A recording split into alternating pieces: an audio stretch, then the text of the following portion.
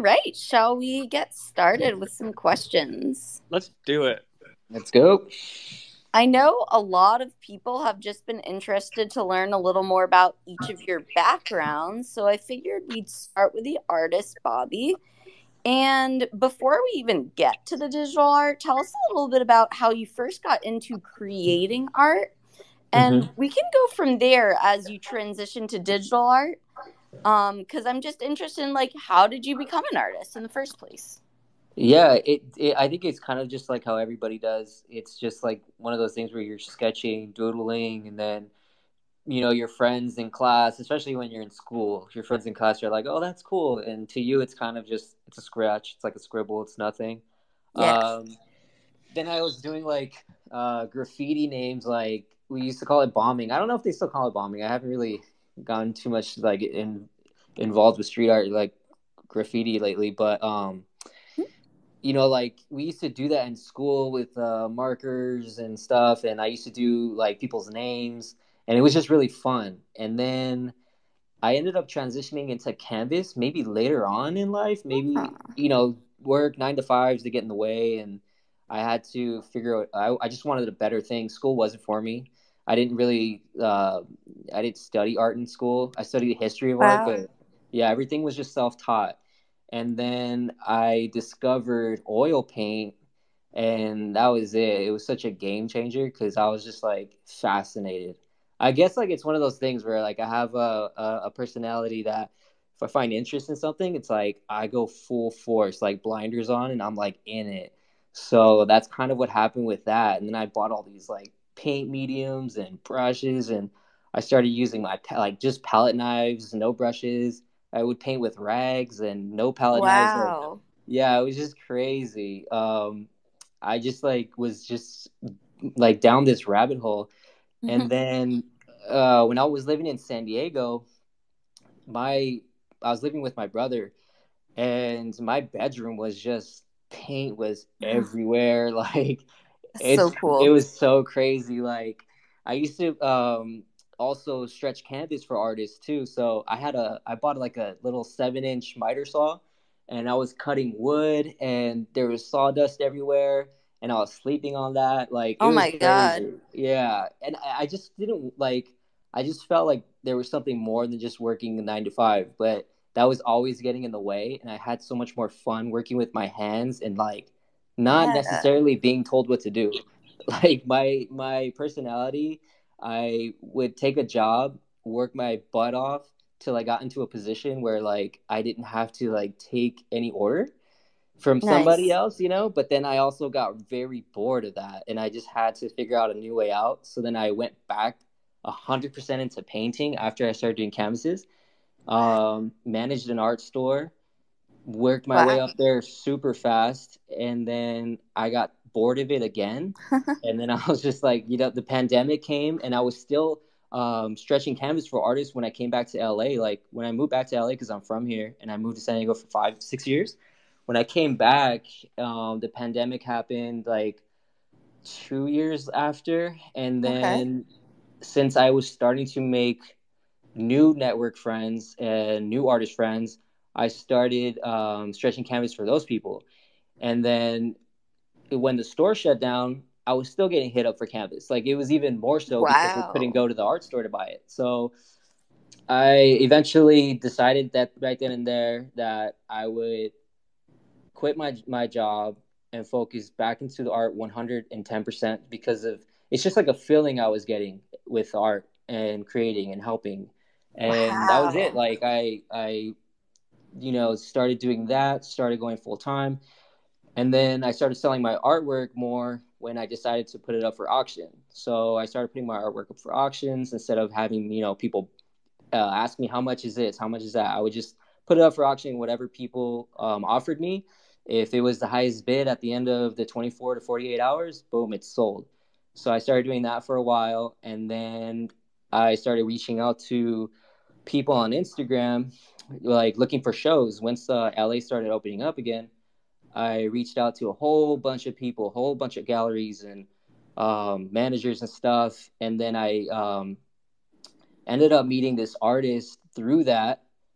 and we did a show in Santa Monica, and uh, that's where I met Brian, and that was it. Like once Brian like we started talking about art, you know, and Brian's like he has such a uh, an easy go personality, so we pretty yeah. much like connected pretty easily. Like if we knew each other, and when we started talking about NFTs, like that subject started getting up brought up. Um, oh man, like it was such a game changer hearing his perspective.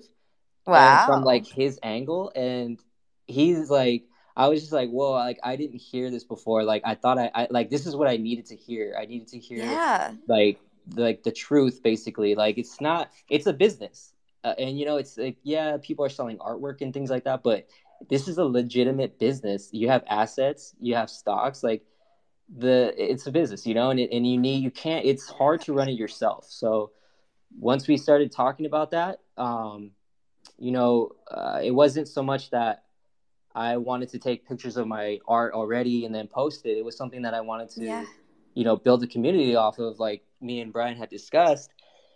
And yeah, so I started using my wife's iPad and I started using my finger because I didn't have the Apple Pencil. and then um, my brother dropped off like this regular pencil from Amazon, and then I started using it. And then that, there you go. Like I was waking up like at six in the morning and putting that iPad down like at 10 o'clock at night, like wow, for like every day because I was learning like the entire program. Um, the rabbit went through a bunch of different changes and yeah and then here we have it today like what it looks like now with all those little attributes and that's so literally that's my first legitimate character.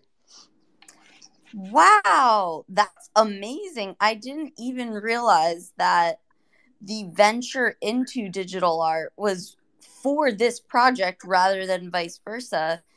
That's such a unique thing to have yeah. And I love how you mentioned it was sort of driven by this desire to form a community. So it wasn't like your art necessarily drove it or your venture into NFTs drove it, but like using your art as a means of forming community. I love that. Yeah. Yeah, that's what it was. It, it, and, it, and, you know, it was more Brian's kind of like, yeah, you know, uh, what he had mentioned because like to me i didn't understand it. I was really fascinated with the idea of nfts i mean mm-hmm. i really wanted to get into it but um, it was just so random. You know the universe works in mysterious ways that i ended up meeting someone who was just as interested in the nft space but from a different perspective. So it was just yes. like crazy crazy I think one thing I took from that is both your passion and that it was so self taught. So I'd love to hear from Brian a little bit about sort of a non traditional path. It wasn't like you were trained to uh, be in business with NFTs, but how did you uh, get to that place of working as what is now the manager and you know complete business side of the Bobby Rabbits project. Yeah, that was really cool. Kind of hearing um, Bobby's evolution through kind of where he started and how he ended up here, and it'll be kind of cool to hear like how our paths intersect. I mean, for me, I was out in. I mean, I lived in Los Angeles for five years, starting from like 2015 until the pandemic began, and like I, I'm not an artist um, I was working in finance. So like my background comes in the form of like, you know, I had to take all these licensing exams to learn about, you know, how companies raise money and like what stocks are. You know, like a lot of that is like learning about the in the United States we have, you know, the SEC and FINRA, the Financial Industry Regulatory Authority. Mm-hmm. And that gave me a lot of perspective on like how and why stocks exist the way that they do. Okay. And so from my perspective, like I had this understanding about how to make a business, you know, how to how to start a business, like how to create like a large business and how to scale it upwards. So most small small business owners, you know, they get money from friends and family and then they they start their thing or whatever, but at some point when you want to become like a huge company, like the only route to do that right now, you know, until I learned about NFTs, I'll say, is that you know you gotta you gotta either take out a massive loan from the bank or this really popular way to do it which is where stocks come from is is becoming a publicly traded company so let's say hmm. that you know I wanted to start a clothing company, but I need like a million dollars because part of my idea is like we need, you know, we need to hire all these people, we need storefronts, we need factories, we need to buy the materials, all these things. Like instead of going to the bank and being like, "Hey guys, can I borrow a million dollars?" Like I could just like say, "You know what? I'm willing to give up a big ownership stake in my company.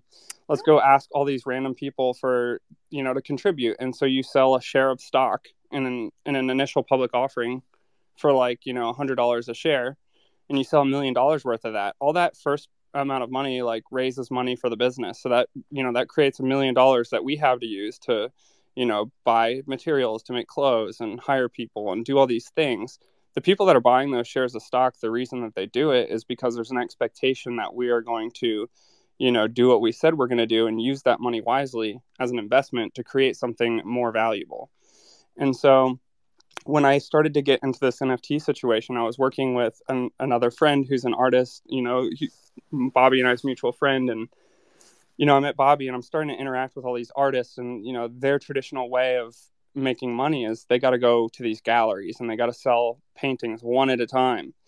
And um, I started to pay attention to these NFT communities where you have, you know, a single artist that you leans on technology a little bit to be able to create thousands of these pictures um, that are part you know that's their art their hand drawn attributes. We're just using a computer program to do a little mr potato head and create you know all these combinations of them. But it's more than just the art to me. I saw them as like shares of stock. It's like ownership in the bobby rabbits brand. Like we could use that money that we're raising from the mint to do something bigger. Like you have what are called these rug pullers where they raise all that money and then like yeah great you guys make a hundred thousand dollars off of minting your collection but then what you know right. all these rugs that we're seeing in the industry right now are people that they get that money but they don't have a plan with it. So that's a huge red flag for any other nft project is like that's why there's a roadmap. Like you're like well what are you going to do with my money to make my to make my nft worth more? So for us like that was kind of what i tasked myself with. You know i met with bobby and that's what we talked about like you know it's it's about so much more than like the single sale of a single piece of art because what we're doing is we're creating this community that will be our shareholders like we're going to you know all these people are essentially our boss like we're we're borrowing their money and, and they are expecting us to do stuff that makes their piece of art worth more so what are we going to do you know well a like these people share in that responsibility as much as we do. So we're going to put stuff to a vote. You know, do you want us to spend money yeah. to to make clothing? Do you want us to spend the money to make a video game? Do you want us to spend the money to create a cartoon? Like we have all these ideas, but we do have to put them to a vote because at the end of the day, the people that own the NFTs are the people that, you know, their money is on the line. Like we right. appreciate everybody that minted because they are handing their money over to us and trusting that we're going to do something important or valuable with that. Um, so, you know, that's the conversation that Bobby referred to. That different perspective is, you know, it's about so much more than just creating a cool piece of art. You know, we have to do something yeah. above and beyond. And that's when you hear people saying, like, well, what utility does this NFT have? Like, that's the utility is like, you have to do something to make the brand valuable so that other people want to buy the rabbits from you. Right. Like the, the, reason someone's going to be willing to spend a thousand dollars on a rabbit that you paid a hundred to mint is because they're expecting that to be worth a thousand dollars. So like, you know, how, how we plan to do that is to create this big brand and to create all these other things and then share our profits. So, you know, if we end up going out and we make a cartoon and we get, you know, a million dollars in advertising deals to, you know, have our car- our cartoon playing on Adult Swim with, you know, big brand advertisements that, you know, pay us money the way a traditional company would work, like we're going to convert a fraction of that profit and send it back to the people who bought the rabbits because we borrowed their money to do this. Wow. I love how you really throughout this entire thing have emphasized the role the community the community plays in making decisions and holding and benefiting from this project. And I think one really amazing way we've seen this is actually a member of the community who was just like any of us, a listener, a follower of the project, ends up being what we now know is an integral part of the leadership team, and that's Corn Pop. So I'd love to hear Corn Pop a little bit about how you both first got involved in this project and also a little bit about your background in coding and how that's played into your role here. Sure. Um, yeah, it's kind of a it's kind of a crazy story about getting into this specific project. Um, I had my own project, and it was really just a project to learn some some different coding things to kind of learn the blockchains a little bit. And I chose Solana because that's the cheapest way I saw to do it, and Mhm. I really liked how fast their network was, how affordable it was, and I saw it as the future of NFTs. Um, Yeah. And so I so I dove into that, and you know I made I drew uh, in fact I drew a bunny of my own, and then created I don't know something like ten thousand different renditions of it. By no means was it a good drawing, um, but it was something I could use to then you know go through the process of getting a mint engine up and running and I created a Twitter for it and was on Twitter one day and popped up this Bobby Rabbits Club and I was like, "Wait, look, another bunny. Let's go check it out." And I hopped in I hopped in the Discord and right away I think both Bobby and Brian were there and they were like, "What's up, man?" and they were like really pushing for I think it was their 100th member at that time Nice. and I, of course I was like 98, and then the the Ham Lord ended up getting the the hundred Damn. spot. Um, but I really liked, you know, they had this energy, and I was like, I've been doing this all my on my own, like creating a website, creating a mint engine, creating the art, and I'm not an artist. I'm not really a website designer. I'm more focused on the, actual technology behind it. wow. And so I was like, you know what? I can hang out here. This is fun. Like, I, there's energy here. This propels me to keep working on my project. And like, my friends don't understand NFTs. I've explained it to them. They're just dense. I mean, they're older. You know, I'm I'm 31, so my friends are in that age range. And it's still like it's a technology that a lot of older people don't get. They don't understand. They they they see people spending hundreds of thousands of dollars on art. And so Yeah. you know, I just wandered into this this random Discord that looked like really cool art and found a home. And you know, I offered to do some promotion. You know, I just said, "Hey, I'd like to spread the word about this." Um, so I just I started tweeting about it. Um, started talking to Brian and Bobby about like how they were going about it, what engine they were using, if they were building it themselves, how they generated their art, because this was all stuff I was doing at the time Wow. and um, pretty much we we got to where um, the technology was working for both of us, and uh, and then the the people who put out the main engine that we have to modify for our use, um, Yeah. completely flipped the script on everybody. They just completely dropped the ball. They were just like, uh, yeah, we're not going to use this anymore. Use this, and it didn't work the same way. wow. Um, so I just like dove right into figuring it out. At this point, it was still for my own project, Yeah.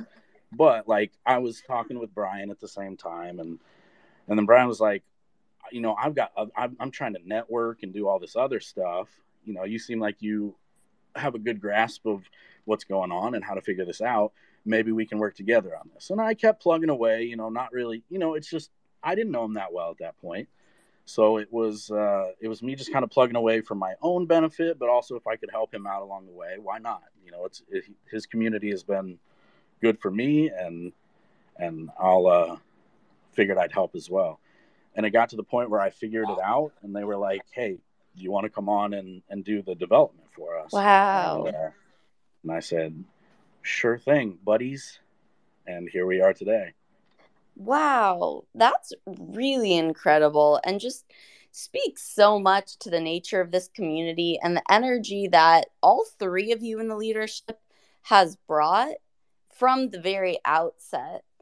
Um I I think that one thing also that Corn Pop noted that I've I found very intriguing was there's this energy coming from you guys but even before we've been introduced to the project, there's a certain energy from this artwork that brings a lot of people in when they haven't heard of the actual people behind Bobby Rabbits yet. That's the first thing that they saw, but there's something about the rabbit itself that really captures a lot of hearts and a lot of attention. And I was wondering if Bobby could speak a little bit to the creation of this character, whether a rabbit is something new, something he's used before, and just what aspects of your personality or what characteristics and traits are you trying to give to this rabbit that have really been so um, amazing and magnetic to the community? I'd love to hear a little bit about that. Uh, yeah, sure. So, um, the rabbits are okay. So basically, uh, when Brian had told me like, "Hey, you know, like let's let's do this project," and you know, I'll gonna I'm gonna do my part.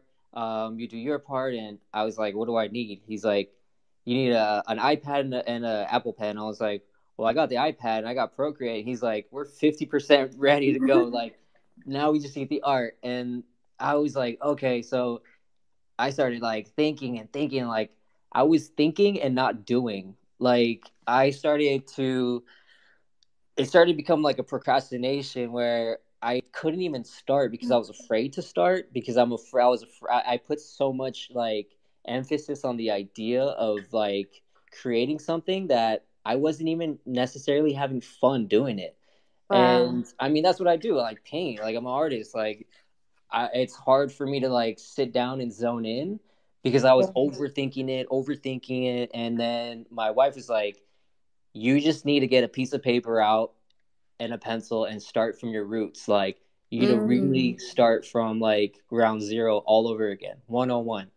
So I did that. Like I sat down on the kitchen table, pulled out a piece of paper and a pencil, started sketching away, and then um, some. It's funny because like most of my characters that I would draw are kind of scary, you know, like they're kind of like scary little creatures with like bulgy eyes and like alienish and it's very like um like old school kind of graffiti um character types where it's not just the the words or letters it's kind of like like um i don't know kind of just like extreme like the characteristics are very extreme. So that's kind of what i was doing and then i was like no this looks too much like a like a mummy or this is this or maybe i'm trying to think too hard.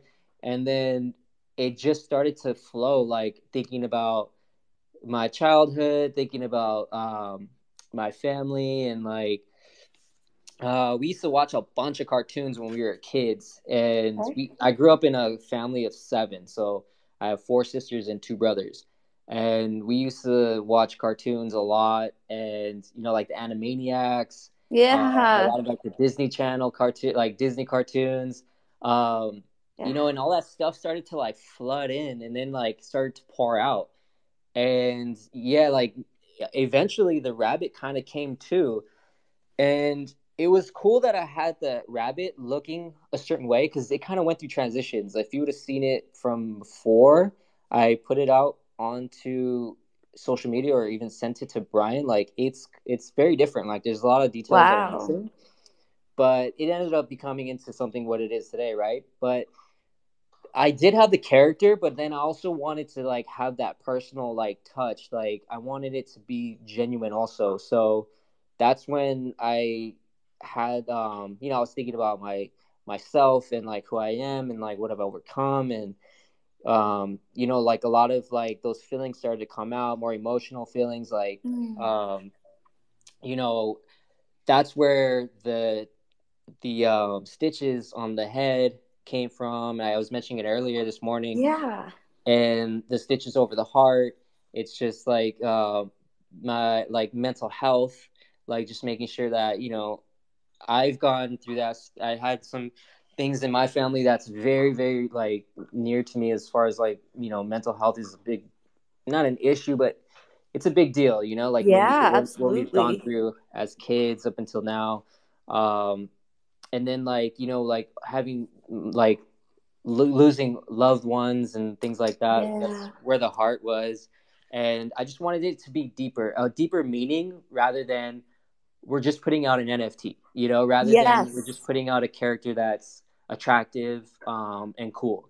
Like, if this is gonna be something that I want to represent me in a sense, like my art is very different from the NFT space. Like, I'm yeah. kind of just like getting my feet wet with this character, but I also don't just want to do it just to do it.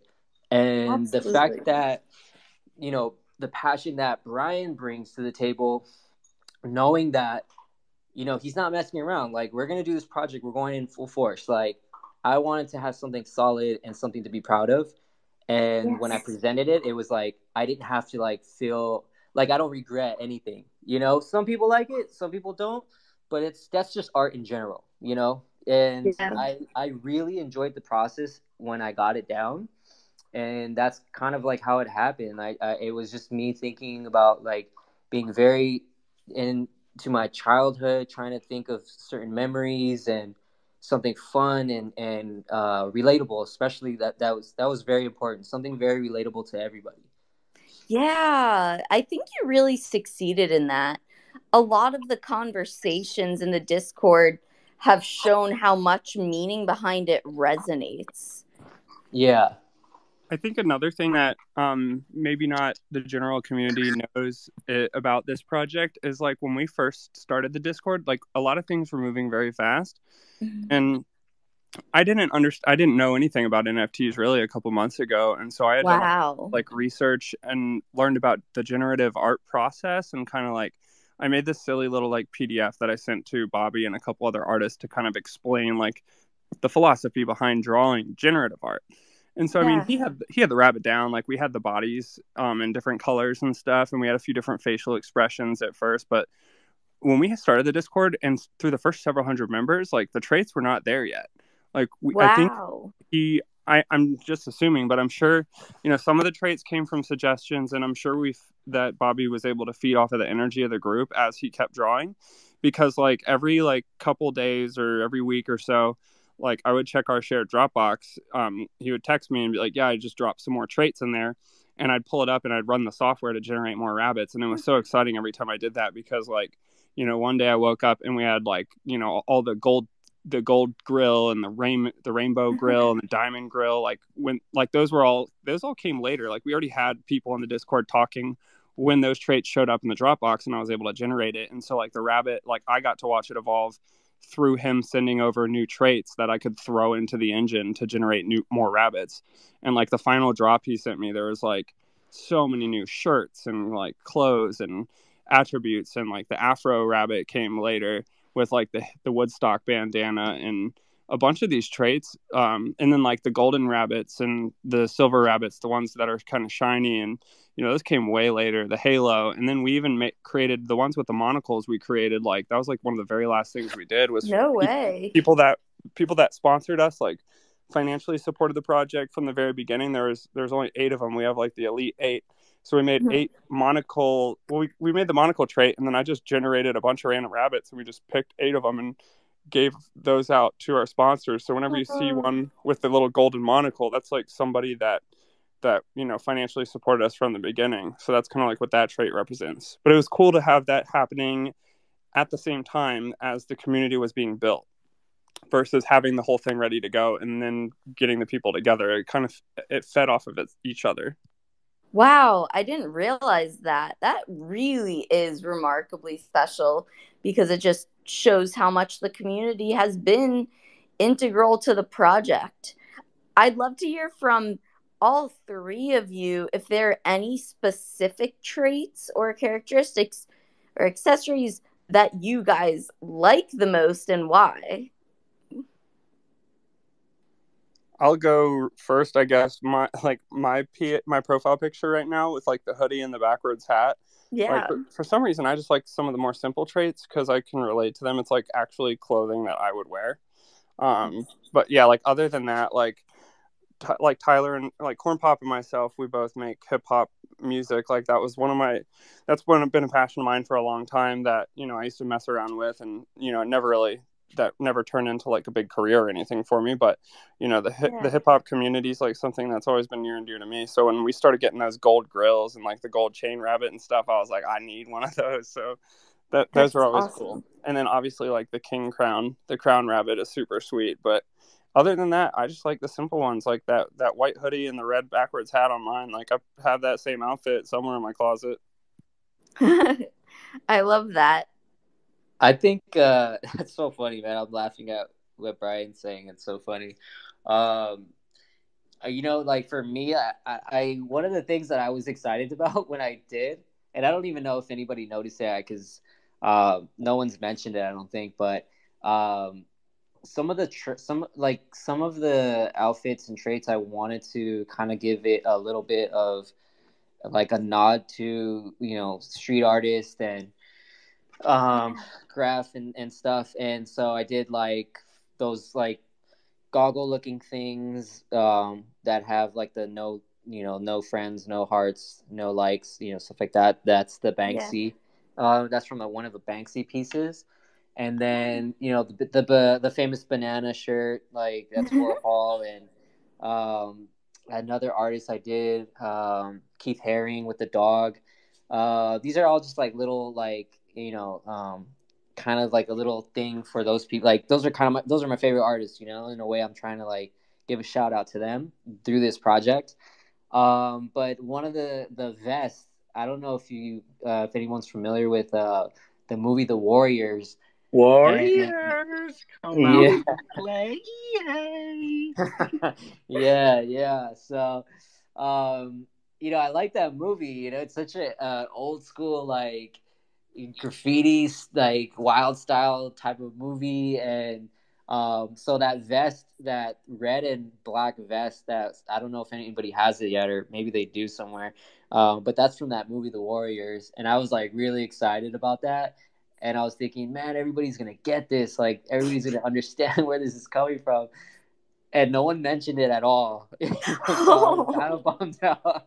I was like, oh man, maybe it's not that cool or noticeable. You know, it's kind of like whatever. Um, but a lot of the traits that I added, um, you know, they're like typical, like uh, relatable, everyday um, traits. Um, but yeah, I think the shirts were and the goggles were something that I kind of wanted to give a little bit of a, a touch and and show my appreciation for the artists that um, got us into different places. Like there hasn't really been a big art movement um, recently. I, I feel like pop art might have been the biggest one leading up until now. Um, but I think digital art is starting to get its respect.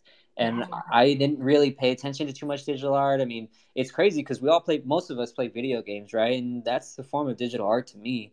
And Yeah. we kind of just take it for granted. So I think it's pretty awesome that this space, you know, it is a little difficult to to succeed in, but it's pretty awesome that this space is giving those people a chance, like digital artists, a chance, photographers even, a chance to really succeed and and um, see the fruits of their labors. You know, like it's very it's very cool to see that happening. But yeah, these those traits were kind of my way of giving, you know, a little bit of respect to the the artists from before me. You know, laying down the the groundwork for us to like succeed. Wow, I didn't realize that looking at the bunnies at first, and it's just another amazing part how it's it's built from the people before us and going toward the community that we're building. Corn Pop, do you have any favorite traits and why? Well, I uh, Bobby stole my thunder uh, because that that Warriors vest is one that I do not have, and I am on the hunt for because that that movie is.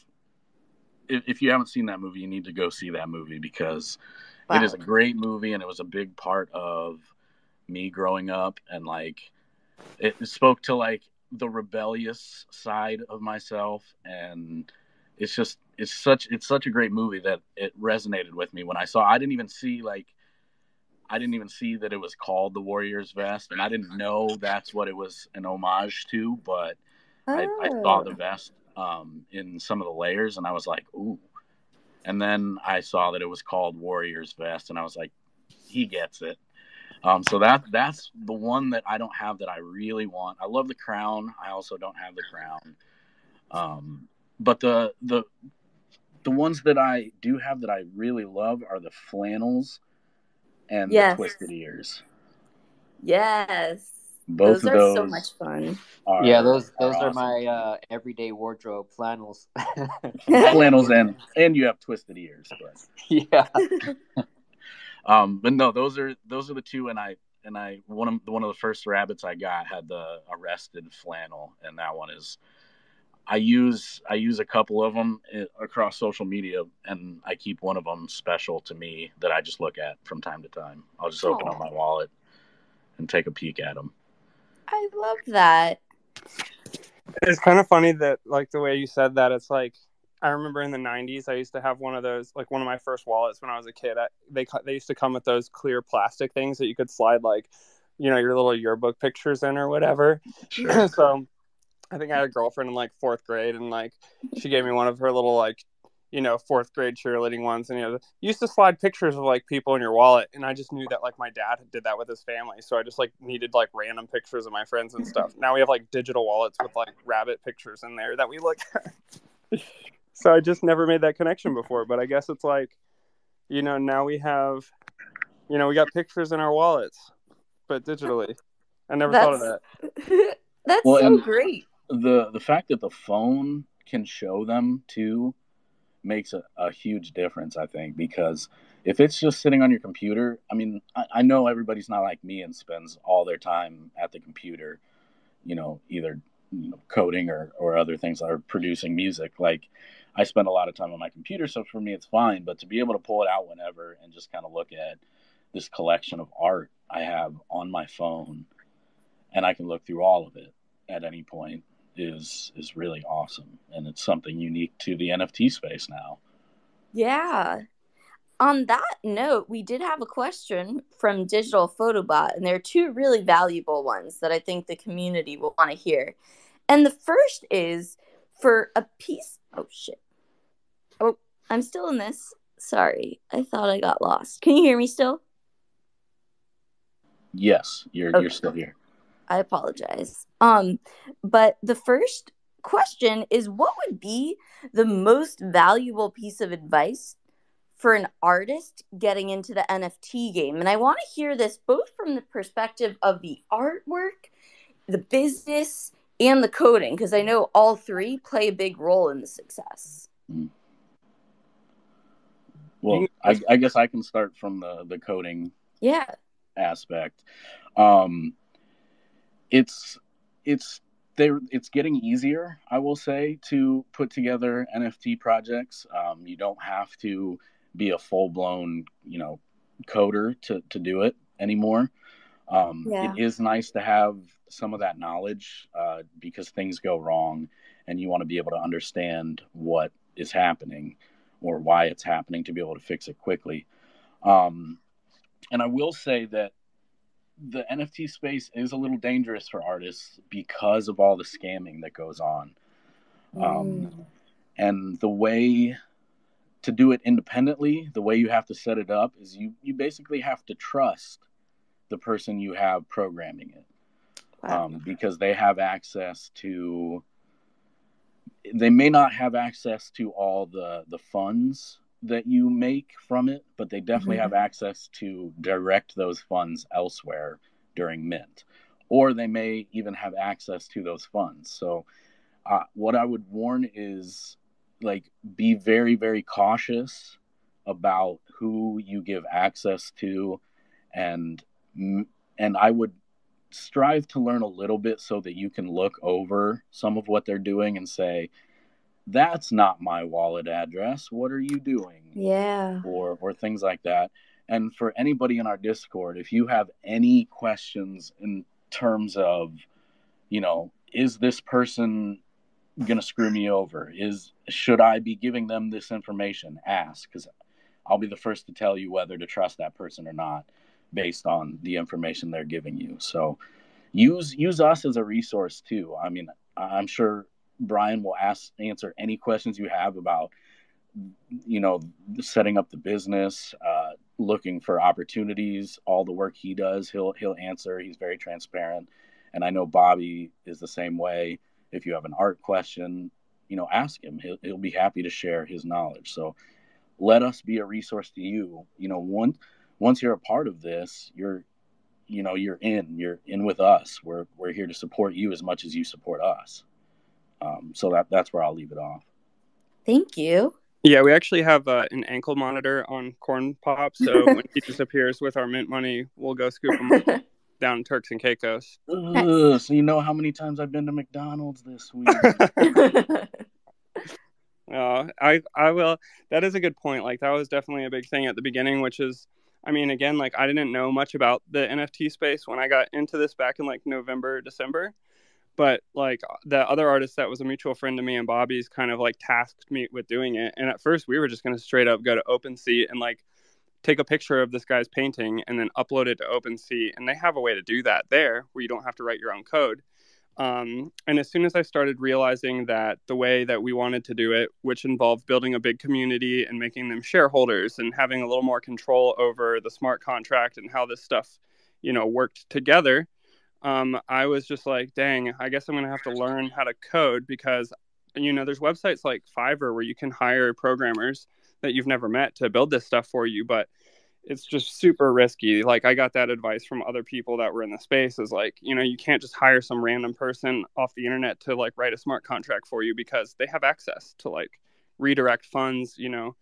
So um, I kind of took it upon myself to watch a bunch of YouTube videos. So my advice, you know, anybody starting out, like, there's a good, um, there's some good groups of people. Um, another project called Stractors, like, kind of helped us out with some like questions about these this programming stuff, but there's a program called Metaplex, um, and there's a program called Hashlips, which are very commonly used in this generative art space because it's pretty much, you know, this website called GitHub, and it's like people put pre-built packages of code up there, and you just need to know enough to like go swap stuff out, like delete the you know the name of the project field and write the name of your project and stuff like that you know? Copy and paste your wallet address and the default space where the wallet address goes but like corn pop mentioned like it's good to have somebody that understands like the you know the the gadgets and like you know the little cogs that are working behind all of that in case something goes wrong which inevitably it does yeah you know, they, they know where to go in and find it i mean that's when i first realized corn pop was like somebody we needed to potentially look into like getting involved on a deeper level was you know i was running this pro- this project on the on the test network, which uses fake Solana, so that you can like you know you can try you can build your own project and deploy it using a test network with fake Solana to make sure that it works before you spend real money.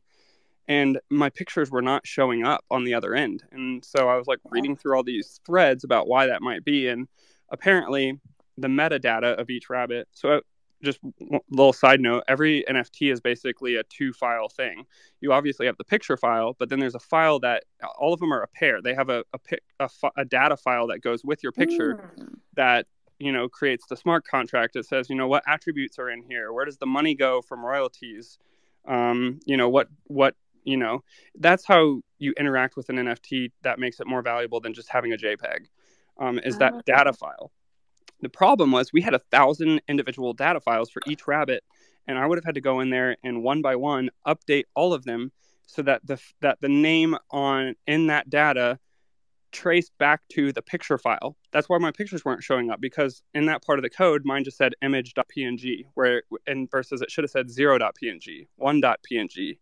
For every rabbit, it needed to be directed to that picture so that they were tied together. So having someone like Corn Pop is really important because he was able to write a script that took all thousand of those files and knew where the code was, and you just push one button and it goes and updates all those files for us. Saved us crazy amounts of time. Um, but other than that, you know, my advice is like, you know, a have some people on your team that know, you know, how this stuff works on a level that you know even if they're not, you know, on your founding team or whatever, like nowhere to go, like the Stractors Discord or like the Bobby Rabbits Discord, we're trying to, you know, be available to help answer these questions. You know, you got to have people that you can go to in your network that can help you figure these issues out when they happen.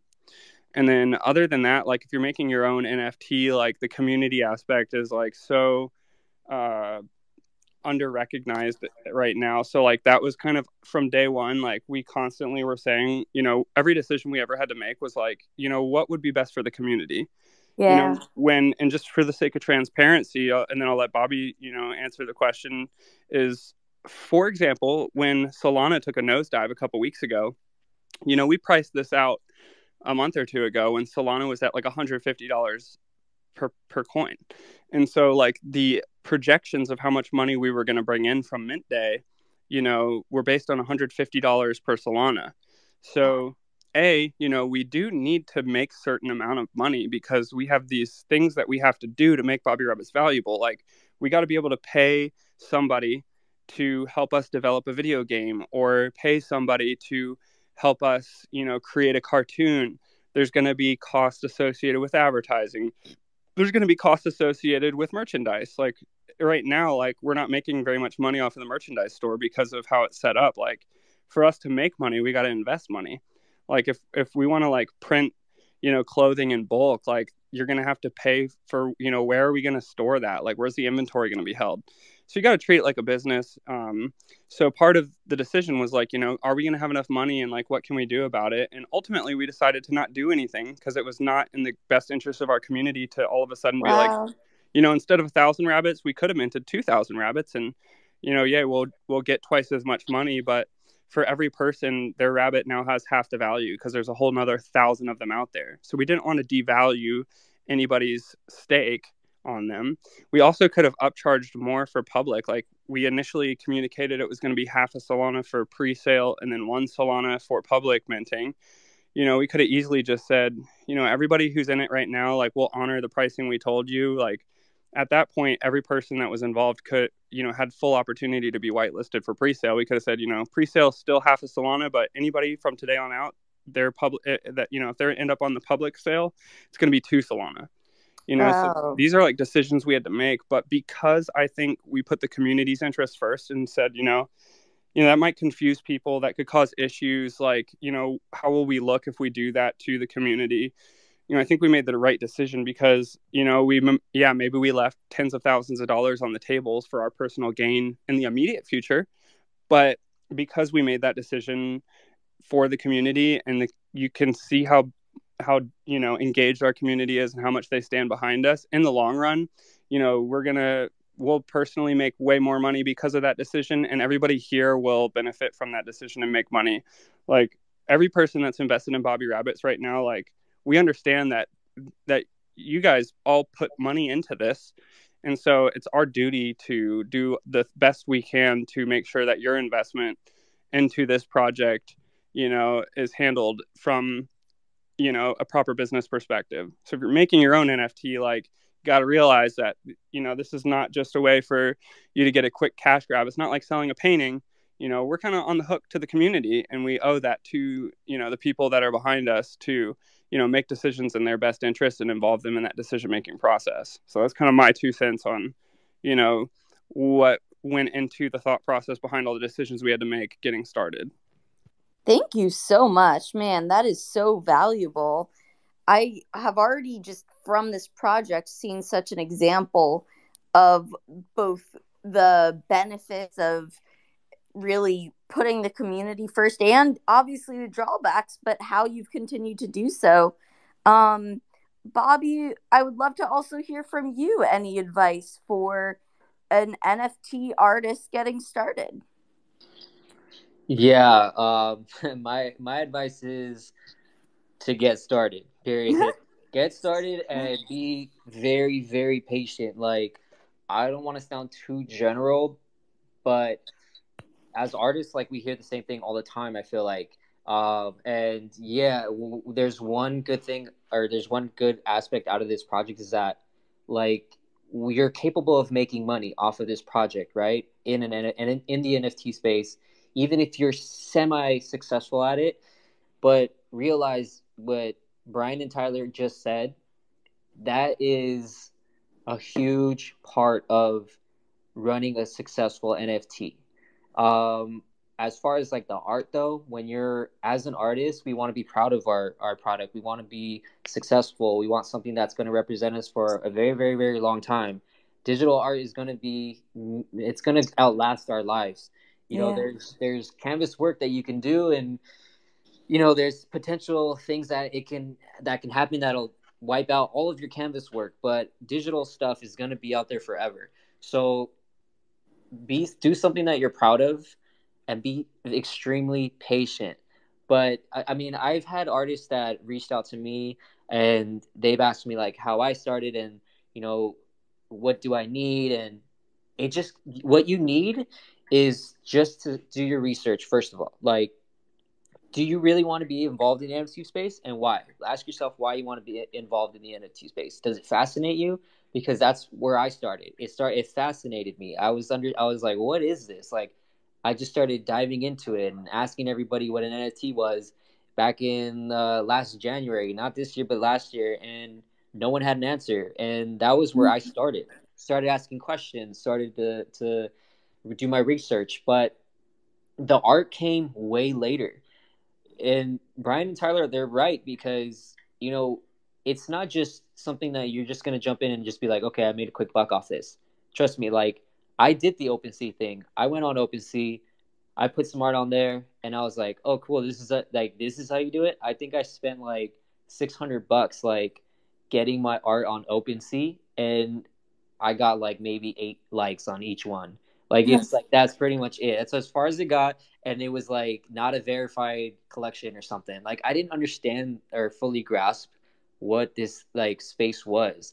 Um, but again, I didn't do my research, and I also hadn't met Brian at that time to kind of school me on the business part. Like, yeah. it's not necessarily just art, but yeah, it is a business. It is a stock, and yeah, when you do a project that we're doing um, it's it community driven, so you have to you have to kind of you have to humble yourself too. Like, you know, sometimes like there's gonna there might be a um you you might put out a product that is cool, looks cool. You it's um, skillfully sound, but then you have like haters out there, especially with the art community.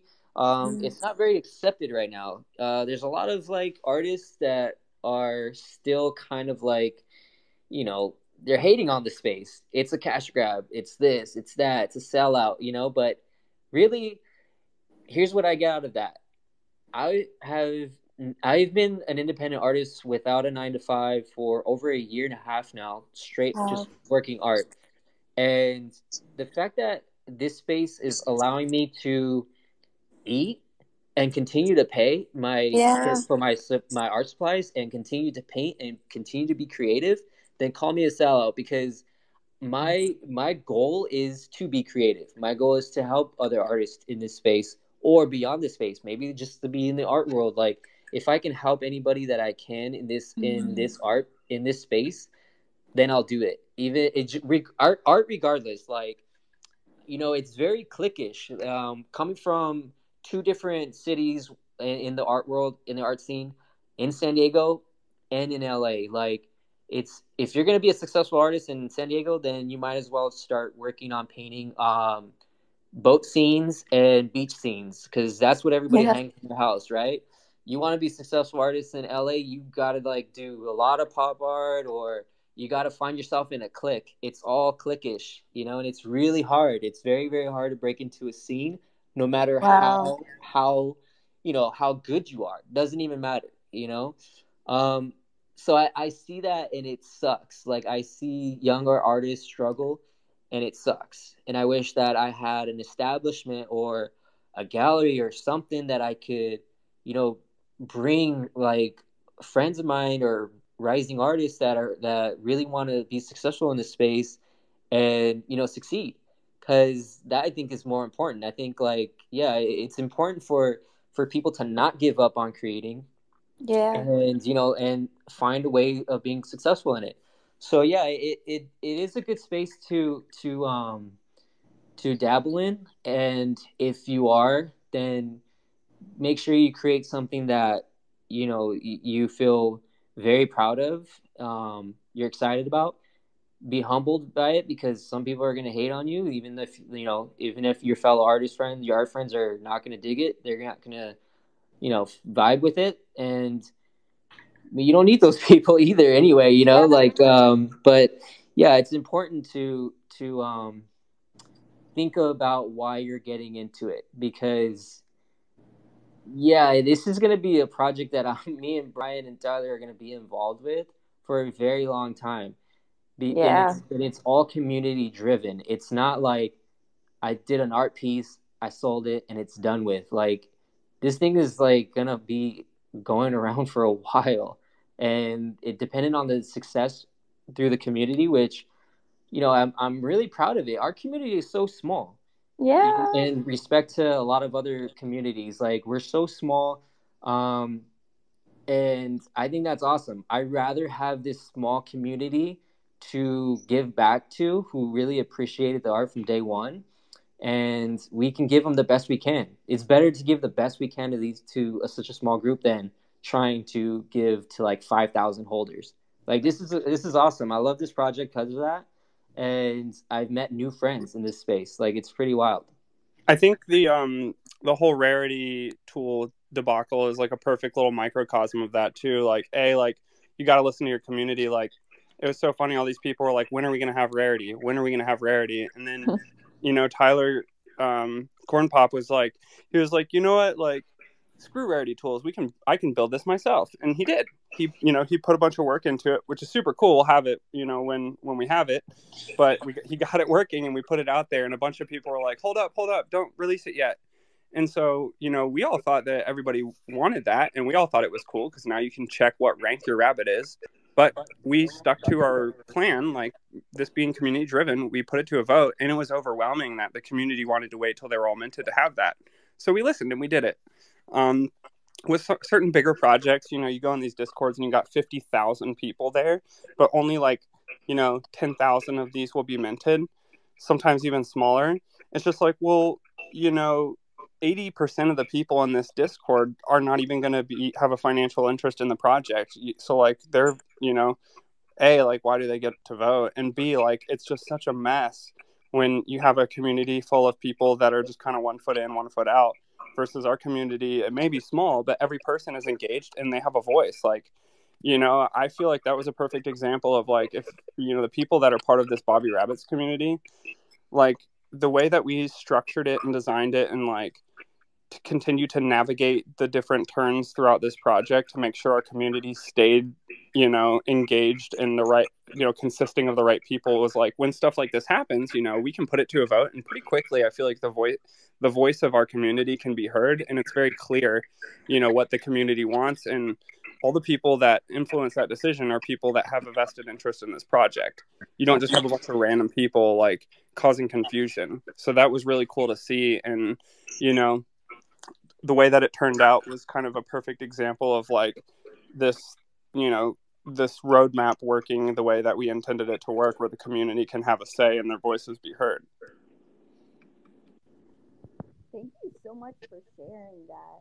I think that you have all done such a really inspiring job of your transparency and your focus on the community.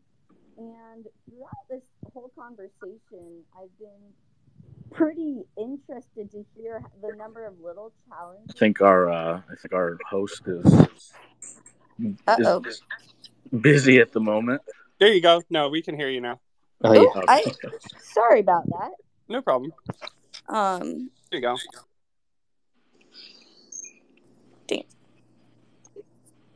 shoot. Am I still in? yep you we Yep. can hear you now Okay. Lost you second, It's the the my connection is a little spotty at times, but uh, yeah, no. So I just wanted to really thank you guys for being so transparent in both the challenges you faced and the decisions that you've made throughout it all.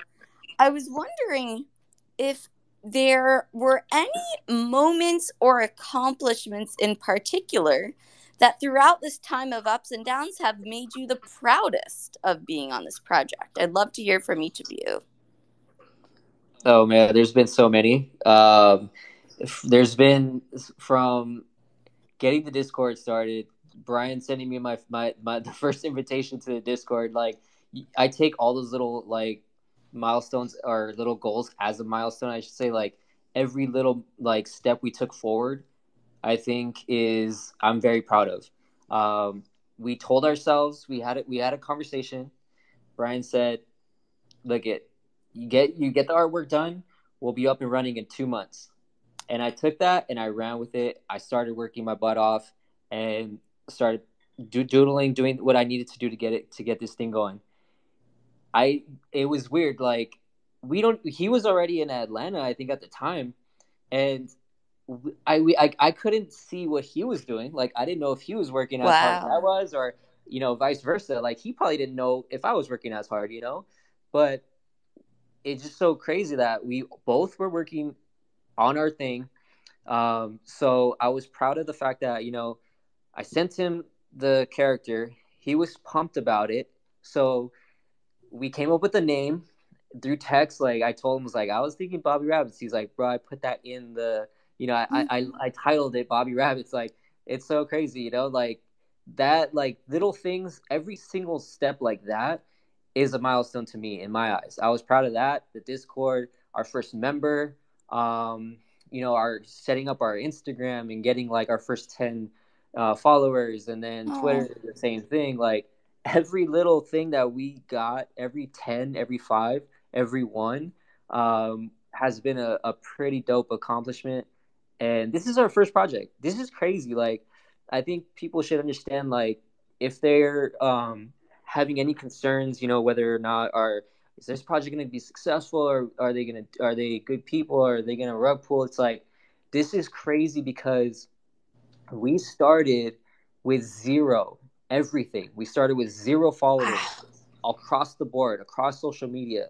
We started with zero people in the Discord. We didn't have we didn't have like a a, a hype up to get into Discord. We didn't have a hype up to get into social media. Like we started all at the same time, and the fact that the people, the community started coming together while like while I was still drawing the traits, like every single one of these, every single member in the community to me is is a is an accomplishment that I uh, that I'm proud of. Like I'm proud of the two guys that I have on this like that I'm in this team with. Like have adding Tyler to the team, like that's just a whole wild situation. And then the effort and hard work that Brian's been putting in, like day in and day out, and you know doing the Discord, and I know all that stuff is tedious, it's time consuming, but every single like thing that we have completed and checked off, every box that we checked off, to me in my eyes is a is a huge huge uh, accomplishment that I'm that I'm excited about every day.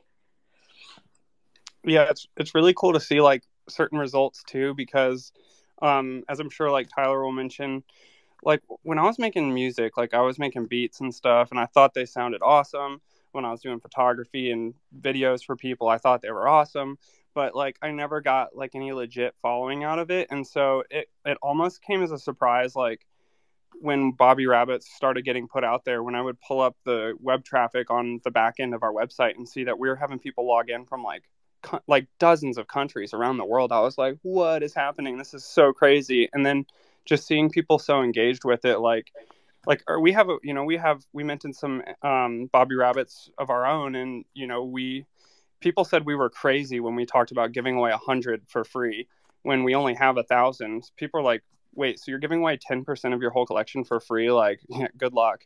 And, uh, you know, I was like, well, yeah, and that's not all. There's more. Like, we're also going to have another hundred that we're going to give away for free for promotional stuff. So we're actually giving away like 20% of our collection for free. People were just like, oh my God, like, you guys are complete idiots. But, you know, that it wasn't all about the money. And I think it was really important to, have a team that all has the same values as me. Like, you know, I've I've been in places in life where I was, you know, I work when I was working in finance, I was making good money, but you know, I was very unhappy. You know, it's not all about money. So like some of the biggest wins for me, like the proudest moments are seeing like the change that is that we're able to like the impact that we're able to make. So, you know, earlier today, like we have these rabbits that we earmarked, we set aside for you know promotional value and stuff there was a guy in our community that just he couldn't afford one but he seemed really into the project he's like the exact type of person that we want in our community to represent us and so you know i just told him to dm me and i thought it was very moving that he thought i was asking him to dm me so that i could tell him to like take his rabbit profile picture down because he didn't Aw.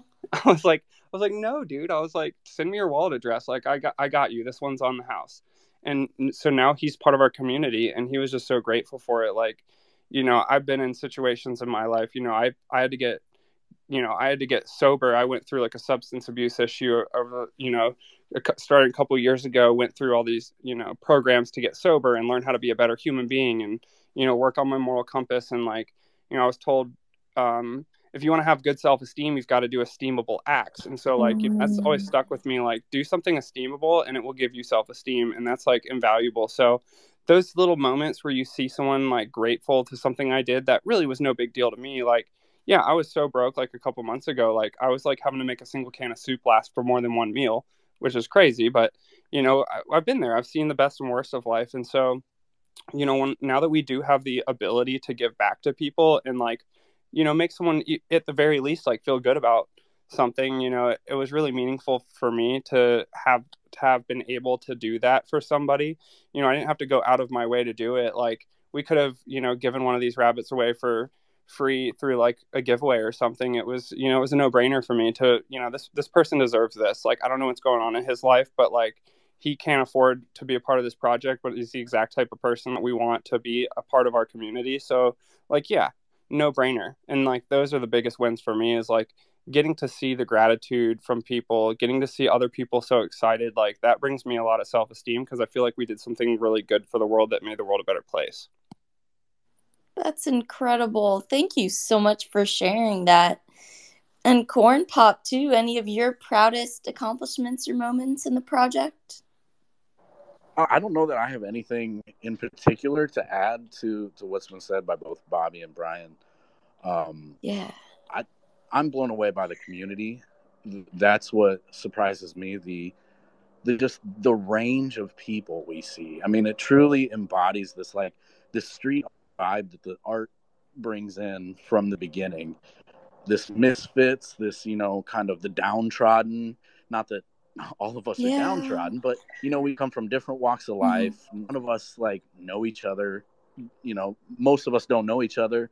Where you know, some of us are have been successful in life. Some of us have seen really terrible lows, and we've all come together under this one roof. And I think the street art embodies that, and this community. And I, I think the the biggest thing I've noticed is there's a serious lack of toxicity within our community and that was one of my biggest worries is when you get because yeah. if you see this nft space it's full of like a lot of scammers it's full of a lot of you know people who are just out for a quick buck it's it's full of people who don't care it's digital the the person is often removed from that but i go into this discord and i'll share a piece of my music and i'll get people to say hey i really like this and somebody will show their art and i'm like wow people are doing amazing things and everybody just props each other up. I get so much energy yes. to push into my own projects, into this project, just from watching what goes on and the kind of people we've you know brought into this community that have that have just you know wandered in and we've created a family. That to me just blows my mind. Thank you so much for sharing. Yeah, speaking of uh, like other people's projects and stuff, like our biggest in-house uh, artist, KG, in here. Yeah, I got to make sure that we that we've gotten KG his Bobby Rabbit. But it's so cool. I love every time you know I'll pop in there. Like that's another win or something I'm proud of. It's really cool to see like from the very beginning we had people like like him that I go in our little community artwork section and I'm just like it's so cool like that it inspired other people to you know, create their own variations of it. You know, he sent us the other day, he made a Bobby Rabbit out of like clay. I was like, that's so cool. So it feels really fun to see that mm-hmm. type of stuff and how excited other people are getting about it. Yeah, it really has impacted my life too. I know I speak for so many. Yeah, it's it's just been fun to see everybody come together. Well, it's yeah. crazy because you know, I come in as from a from a music production background, and here I see you know m- musicians all over the place posting this awesome music, and and within the community, I've paired up with Ledge, and we're making a, mm. an EP together. Like, and this this just happened because we both found our way into this community, and to me, that's that's just beautiful. That's awesome. Like that's what this is all about. I really couldn't agree more. I think that's such a nice note to wrap up on. But before we do, I would also like to see if maybe we could get any, either sneak peeks or just a sense of something to look forward to because I I always am filled with anticipation of all these things to come. Any even words, phrases, maybe give us a taste, a hint. Um, I guess I could say something. Uh, yeah, like uh, there's there's work. Um, I think I was talking about it before people started coming in, but it was there's there's a bit of work going on in the Warren as far as um, you know where these uh, rabbits are. You're gonna have a better imagination and visual uh, and background of the rabbits, and where you know your imagination will it'll be it's it's basically what I'm work what I'm trying to say is we I have been working on things to put the rabbits in a actual space like in a, in a in a world where um, if we do when when we do get into the metaverse that we'll be able to see these these rabbits actually physically move around uh, and you know become I guess uh, an avatar that's uh, we can use in the future. So that's kind of something that I'm working on, um, giving more life to the rabbits and giving more life to their environment.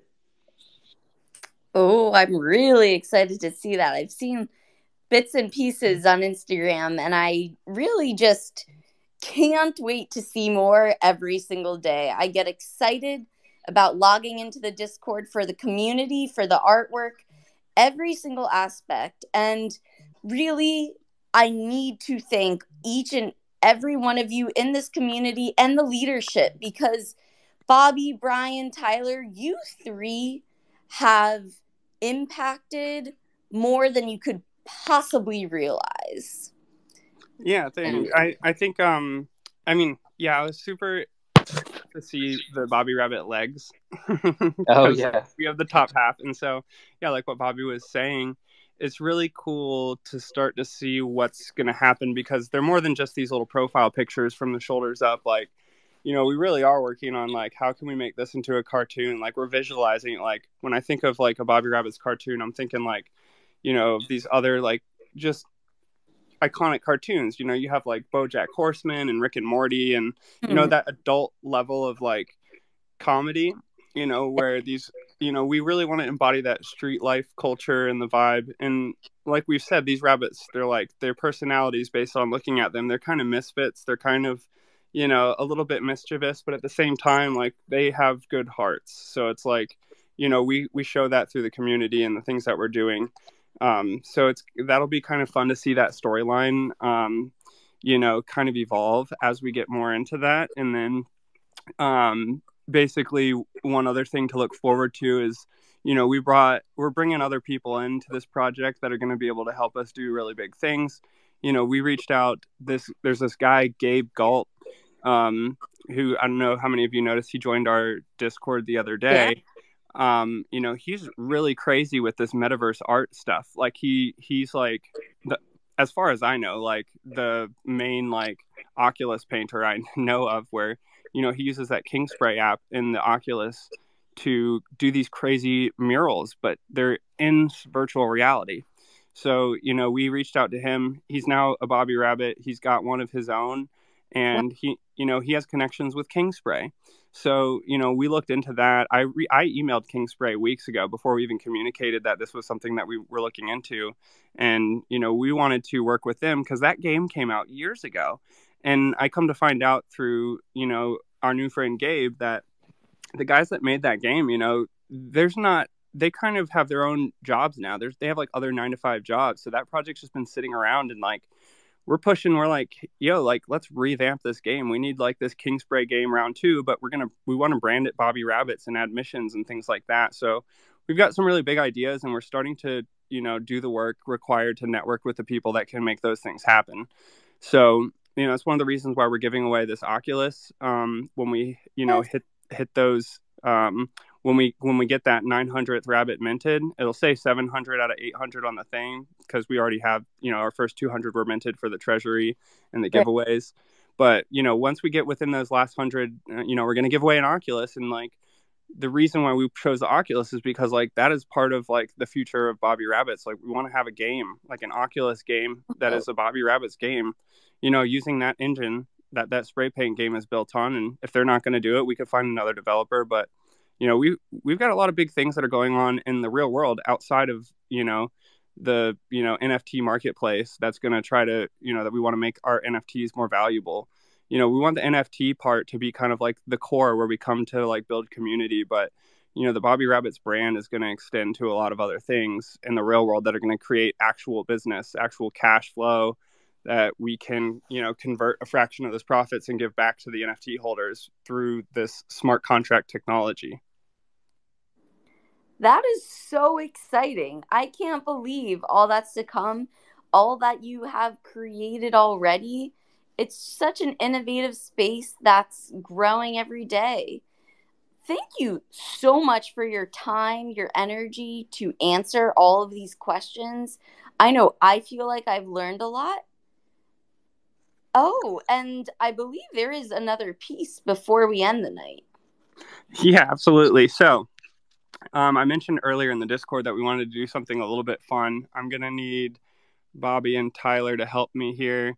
Um, so, Bobby and then Tyler, just tell me like a number one through eight. Just pick a random number one through eight. Three. Uh, seven.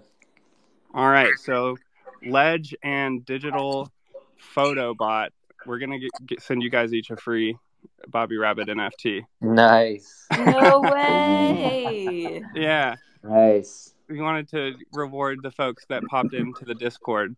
I mean, into the Twitter space. So I said I wanted to give away two of those guys. So yeah, you guys Nice. are Yes. lucky number three and seven. That's also, awesome. can can we quick get a little emoji thing going for our wonderful moderator? Hillary tonight. Yeah, Hillary, thank you so Let's uh, give her thank some- so much. You, some are peace signs, maybe a one hundred. Yeah, hold on. Oh, Yay! well, Good job, Hillary. You killed it. Thank you. It truly has been my pleasure. I have loved learning, and I still have so many more questions that I know we can keep answering and learning together. Thank you all so much for being here. I hope that you all have a wonderful rest of your evening and definitely reach out to any of us with questions. Thank you again. Yeah, you guys, if you guys have any questions, um, and if you guys want us to expand on anything to that, maybe we didn't answer clearly, um, yeah, just reach out to us. Let us know, and we'll, we'll give you more detail. Um, as you can see or tell, like especially hearing Brian just finish up right now, like uh, we're we're like being very serious and aggressive, like when we talk about like you know the future of our our project, like we are doing these things like every eh, we're full steam ahead.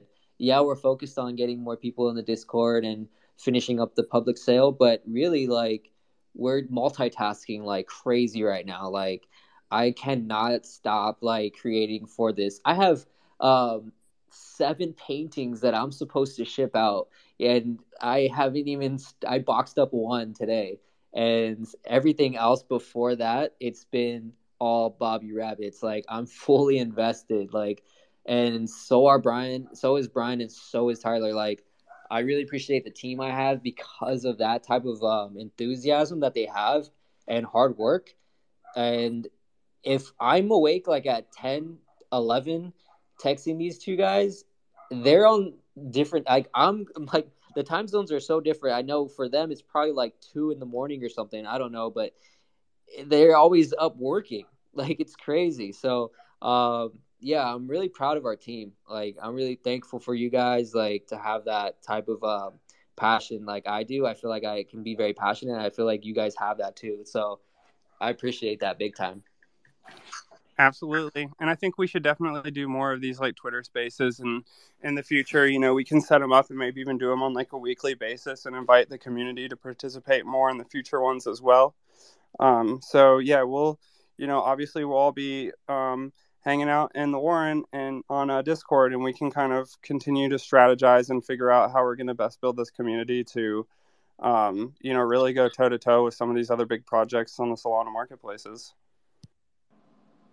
Agreed. Awesome. Thank you so much again. Yeah, thank you guys.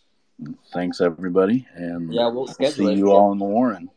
Good night, Mr. Corn Pop. Make sure to pet that Soulbot. Good night for Oh. us. I will do. All right. Good night, guys. All right, man. Take it easy, guys.